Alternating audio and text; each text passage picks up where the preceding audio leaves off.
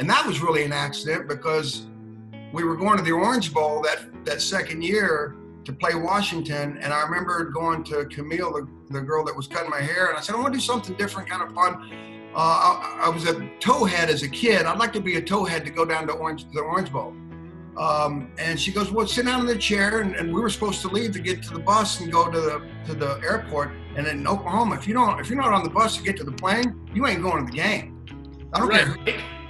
So she sits me down in the chair and puts that stuff on my hair, and I'm going, Camille, I got to go. So she washes it off before it's ready to set or whatever. And I didn't see it when I got done. I walked out the door, walked on the to the bus, and everybody starts howling because my hair isn't blonde. It's not a towhead. It's orange. And they go, they might, oh, it's hysterical. We're the Orange Bowl. You did that on purpose.